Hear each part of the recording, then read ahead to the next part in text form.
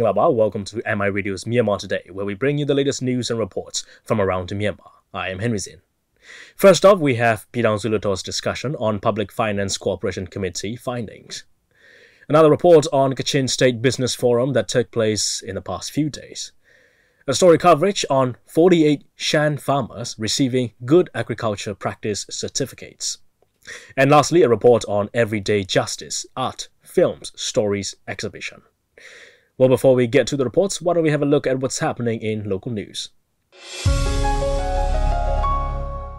Ministry of Health and Sports has received a modern whole genome sequencing machine which can determine complete genome sequence for a given organism at one time.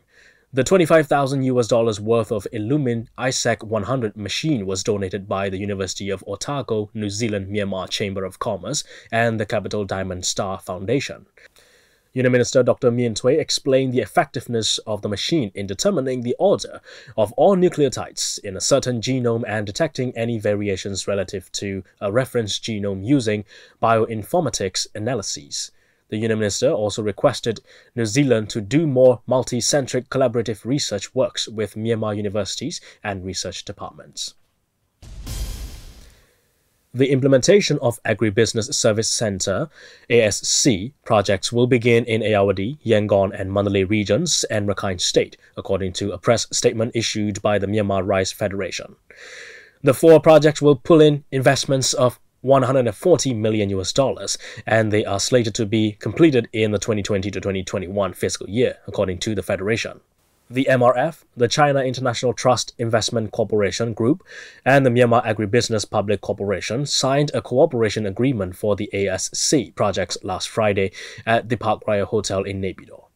The centers will be constructed in 10 states and regions. The consortium submitted a $400 million proposal to the Myanmar Investment Commission to construct 33 centers in states and regions. It is also seeking contracts for international loans and local investments, according to the MRF. A large number of tourists have been entering Bagan in the beginning of the high season to catch a glimpse of historical temples in the backdrop of breathtaking sunsets in the ancient city, a UNESCO World Heritage Site. The famous Bagan sunset views can be observed from six places the Nyanglap Pakan viewpoint, the artificial hill close to Sulamani Temple, the Downtu Hill, and Minnanthu Village viewpoints are packed with visitors hoping to catch the sunset. In the high season, horse riding businesses, motorcycle and electric bike rental businesses, hotels, motels, and guest houses are earning well, along with souvenir businesses. Those businesses create jobs for local residents. During the high season from November to April, Bagan is packed with local pilgrims and tourists. Shwepyithar housing project, which is located at number 19, Wingabar Ward, is 60% complete, and the houses will be available by the end of December, according to the Pomei Ain Social Development Association. Community housing projects are being built in Hlaingthaya, Shwepyithar, Dagon, South, North, and East, and Dagon Seikkan townships. About 10,000 houses will be built in each township. The construction inputs will also be provided for those housing projects. For implementation of the housing projects, Port May Ain Social Development Association has surveyed the population lists, including those who live in the squatters and dormitories. That's all with the local news, and here's the first report on Myanmar today. According to the findings of Public Finance Cooperation Committee, the construction of educational buildings under the project of the Ministry of Construction have some issues in construction completion and tender process as well. Pyidaungsu Hluttaw representatives discussed on this issue on Friday. Williamson will tell us more about that. For the fiscal years of 2018 and 2019, the Ministry of Education started to construct new schools in all over the country wherever it is needed to build. Public Finance Cooperation Committee conveys research on current status of construction and its quality along with how the Ministry of Education receive and pay private companies which pass tender process for the construction of the new buildings. Therefore, several Pyidaungsu Hluttaw representatives discussed the findings of Public Finance Corporation Committee on 15 of November when the second time Pyidaungsu Hluttaw, the 14th regular meeting was held on its fifth day. Speaking at Pyidaungsu Hluttaw meeting, Wu Dengtung, Hluttaw representative from Zhanggong constituency said,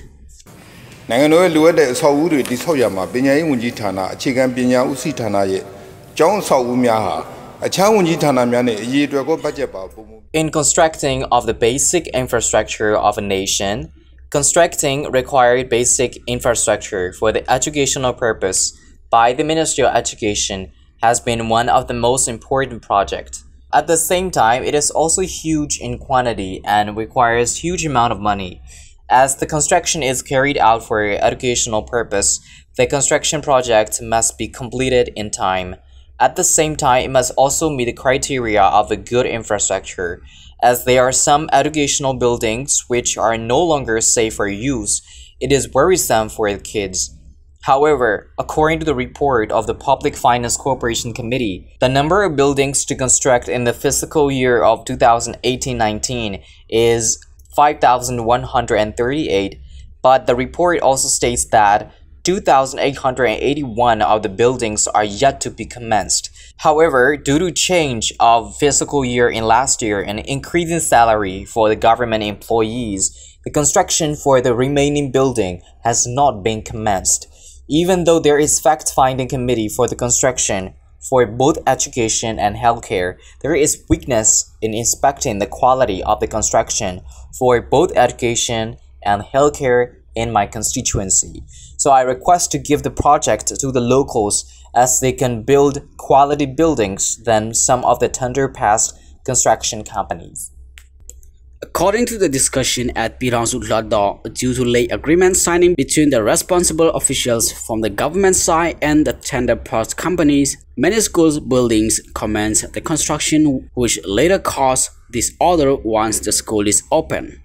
At the same time, there are not enough qualified persons in constructing the buildings, raising her concerns on quality of construction for school.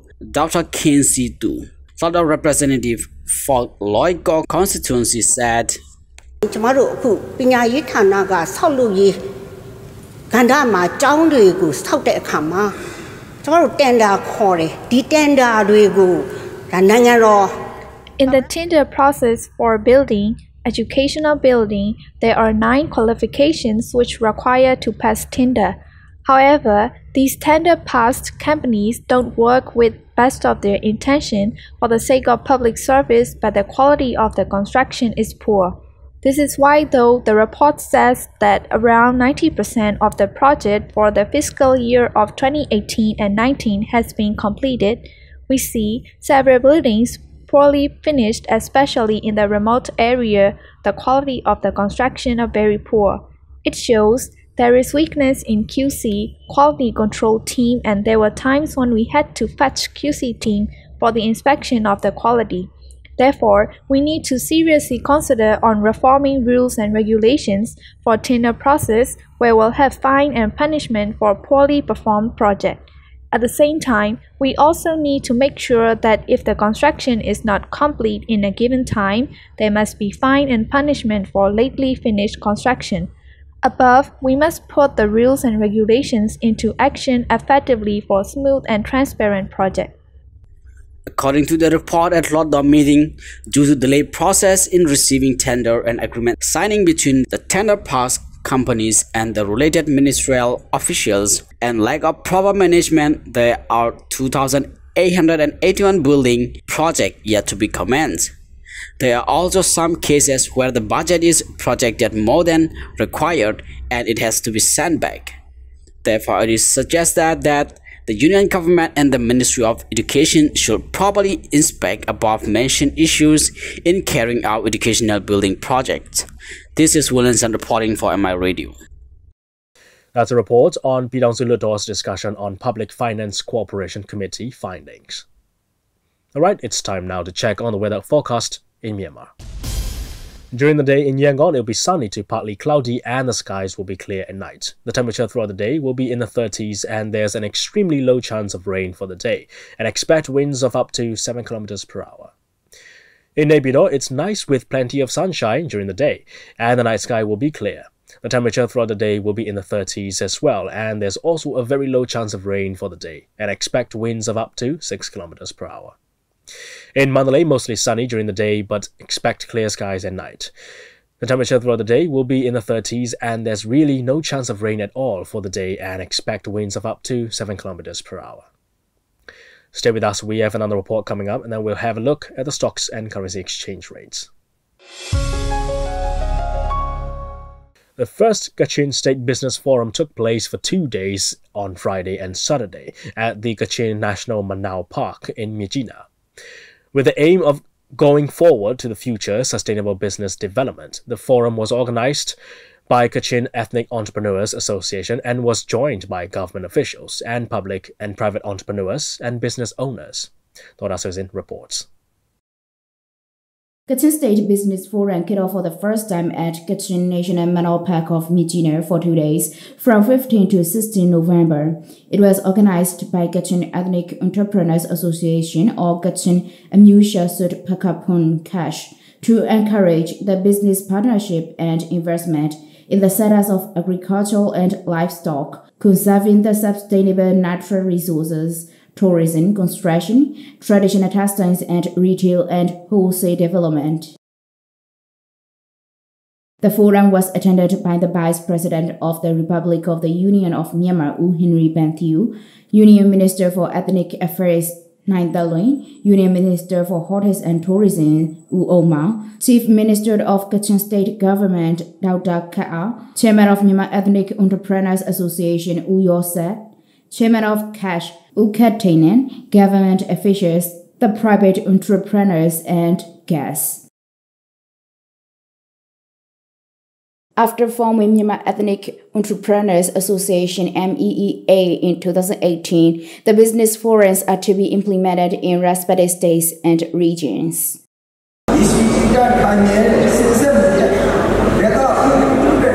When such kinds of forums are organized, it is important to consider how to make the local businesses emerge, which can ensure the sustainable and continuous development regionally, and how to have the processes of how to do business within the legal framework. Hence, in the union level forum, which will be held in 2020, we can make the sharing and the discussions supporting the development of Myanmar.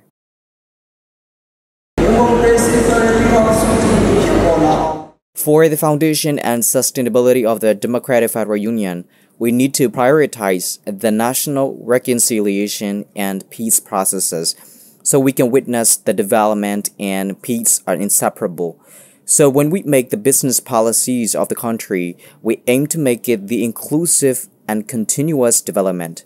We also intend to perform the business framework, which will be the support for the national reconciliation and which is to conserve the natural resources and to share among the states and regions. So we need to try to fundamentally in all aspects, including the business for the foundation of the future democratic federal union. Professor Dr. Aung that who is serving as the patron of MEEA also talked about the objective of the forum. Uh, we had uh, some few objectives of following this kind of business forum. Uh, we'd like to encourage people uh, to look into how we can work together closely. Uh, we want to establish partnership between the private sector and the government because it's important that the government and the private sector uh, relate to one another, uh, connect to one another. We also want to encourage the private, uh, the civil society, the NGOs, because they should be part of this partnership. So we have three uh, types of partners: the government, uh, the private sector, and the civil society. So the forum, the objective is to get all the three partners together, so that they can share their concerns, the issues. Now, regarding this particular forum in, in, in so what is important is the private sector should see themselves as actors to promote peace. That will be very important. MEEA is encouraging the ethnic people to be able to implement sustainable business development and to be inclusive, all the partnerships for it. Well, eventually we want the uh, association to be a strong partner with the government to promote uh, prosperity, to promote peace, and to promote sustainable development. In the forum, some entrepreneurs displayed the booths of local products and other goods. The vice president and the officials observed the booths and encouraged the entrepreneurs. That's all for now. This is Dora Swissin from MI Radio.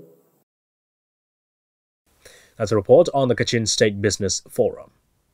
Here we have the information on currency rates from Myanmar Central Bank. One US dollar is at 1,514 kyats. One Chinese renminbi is at 215 kyats. One euro is at 1,669 kyats. One pound sterling is at 1,950 kyats. One Singapore dollar is at 1,112 kyats. One Malaysian ringgit is at 364 kyats. One Thai baht is at 50 kyats and the Indian rupee is at 21 kyats. Gold is trading at $1,465. Silver is at $16 and Brent crude oil is at $57. On the Yangon Stock Exchange, FMI went up 500 and it's now at 12,000. MTSH remains at 3,900. MCB is at 8,200. FPB is at 22,500. TMH remains at 3,000. You're with MI Radio's Myanmar today. You can log on to our website at miradio.com.mm and catch many other great programs of MI Radio live on the website. We're also running on FM 96.1 in Yangon, 96.5 in Mandalay, and 96.7 in Naypyidaw. Alternatively, you can download our app on both iOS and Android platforms. It's easy to search, just type in Myanmar INTL Radio and you'll find the app. Download it on your devices so you can listen to our radio programs on the go.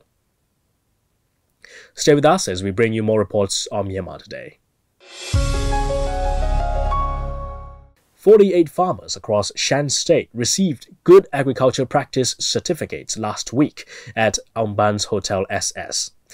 Metro Wholesale Myanmar and the Ministry of Agriculture, Livestock and Education last year provided trainings to the farmers across Shan State and Magway region. Agacho has more. Myanmar is gradually catching up with the safety norms and good practices in the agricultural sector. 48 farmers across Shan State received Good Agriculture Practice GAP certificates on the 14th of November at Aungban's Hotel SS. Metro Wholesale Myanmar and the Ministry of Agriculture, Livestock and Irrigation last year gave trainings to over 200 farmers across Shan State and Magway region. Of 200 farmers, 62 showed compliance and got GAP certified, of which the majority, 48, are from the Shan State, which is often dubbed as country's future agricultural powerhouse. Uzom Nyaton, Assistant District Officer of Agriculture Department of Shan State said, 30% of Myanmar's GDP comes from agriculture sector and it makes up 25% of export products. So it's a very crucial sector for the country's economy. The government has been raising awareness to the farmers on the importance of good agriculture practice which ensures food safety and safe practices in growing and producing agricultural products. The trainings for the farmers to get closer to the good practice started since 2018 and this will be of great help in bringing better yields and benefits for the farmers population. Since 2016 and 2017, we started giving GAP certificates to the farmers who grow tomato and other crops. The certificates were also given in 2017 and 2018, and we are also giving this year as well. We give the GAP certificates only once a year, and the most important thing is that they need to keep the proper record of their practices on the farm and our staff also help them monitor the use of practice on the farm. The duration of crops varies like some crops are harvested within 3 months while some for 6 months or a year. So our department tries our best to help them get certified on time. Good agricultural practice GAP are specific methods when applied to agriculture which create food for consumers or further processing that is safe and wholesome. While there are numerous competing definitions of what methods constitute good agricultural practice, there are several broadly accepted schemes that producers can adhere to. The recently GAP certified farmers from Shan State mainly grow garlic, potato, and tomato. The farmers come from Kalaw, Pindaya, Nangdia, and Nyaungshwe. Metro Wholesale Myanmar CEO Mr. Jans Michel explained so we are sourcing um, directly here in Aungban. We have actually established a collection center here in Aungban, so we become a lot closer to the source. And from there we go and buy directly from the farming communities here. And out of our collection center in Aungban, we then transport it in our uh, vehicles to uh, our Thilawa SEZ facility. Among the farmers who attended the event, Uchiton, garlic farmer from Nyaungshwe said, I'm very delighted to receive the GAP certificate today for we farmers.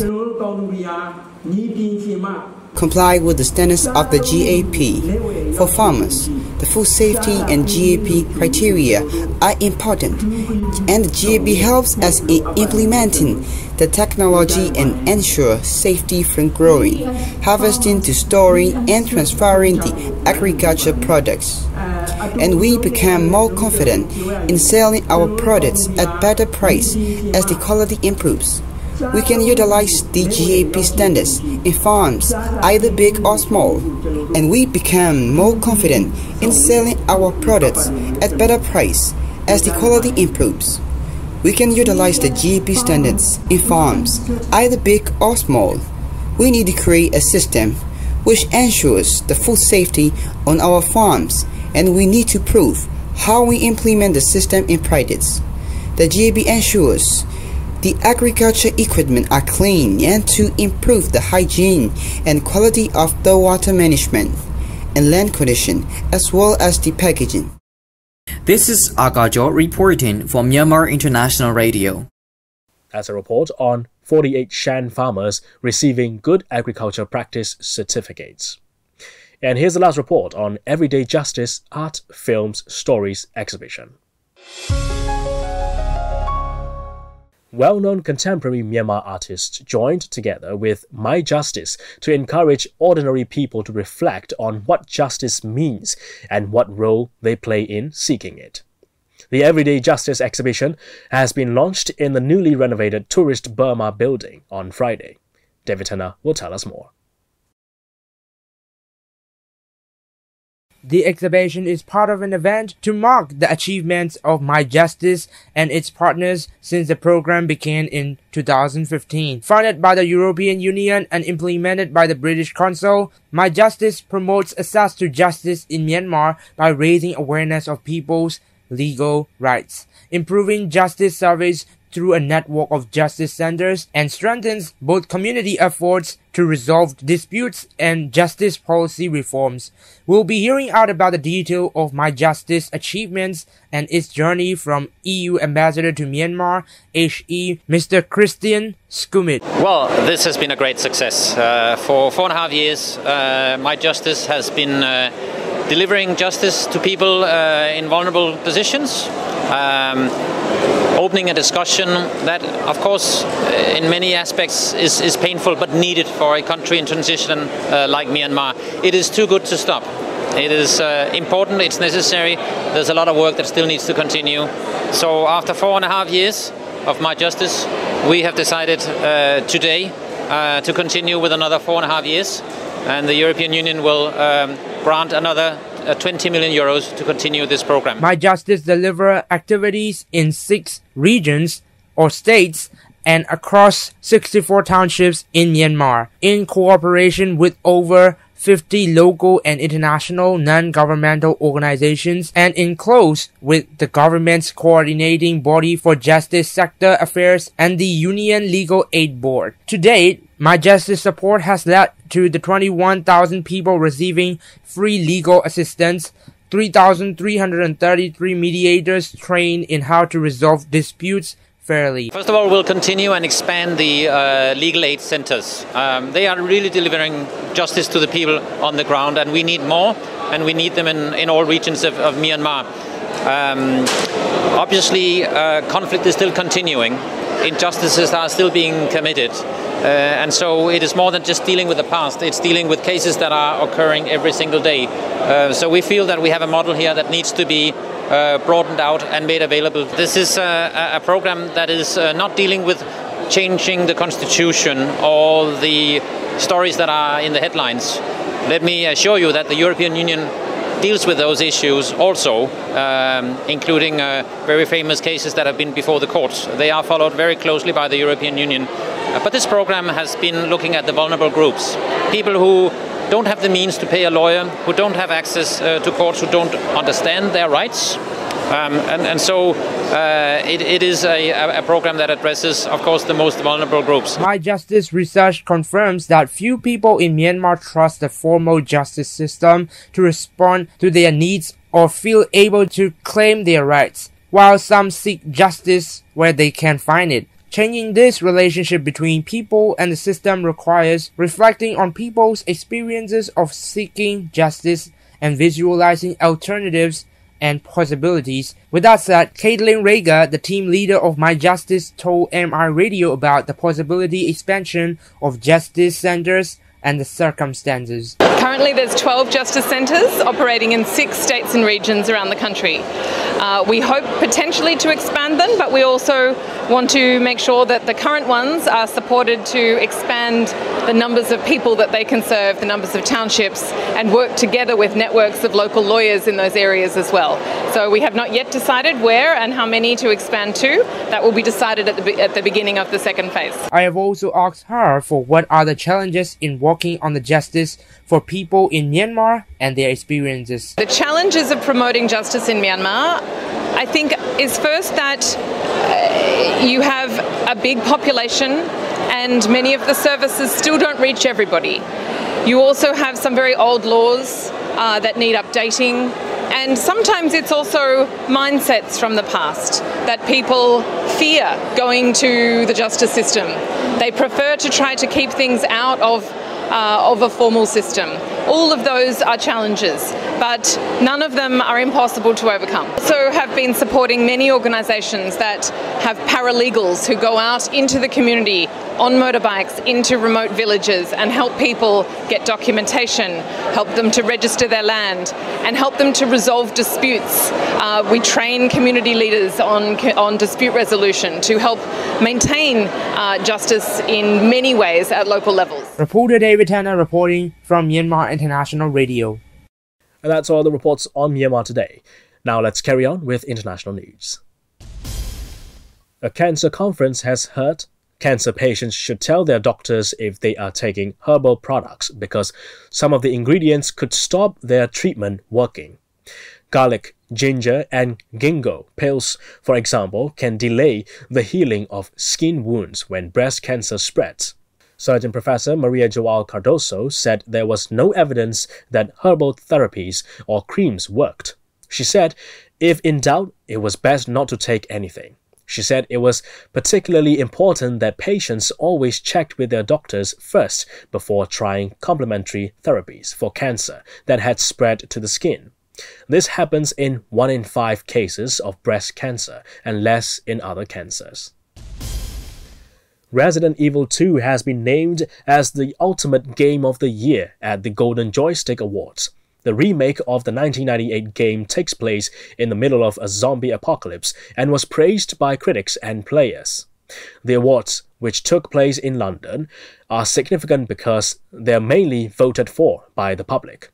More than 3.5 million votes came in for 19 of the 24 categories in the award ceremony's 37th year. Gaming legend Yu Suzuki, who spent decades at Sega, but has more recently developed mobile games, won the Lifetime Achievement. A British inventor who calls himself Jetman has broken his own record for the fastest flight in a jet suit. Richard Browning took off from Brighton Beach in an attempt to break his previous record of 32.02 miles per hour set in 2017. He said before the flight he was hoping to show how technology used in the suit had progressed since the previous record was set. He was more than 50 miles per hour faster than his previous record, hitting 85.06 miles per hour, according to Guinness World Records. Well, that's going to wrap it up on today's Myanmar Today. Thank you for joining me. I am Henry Zin.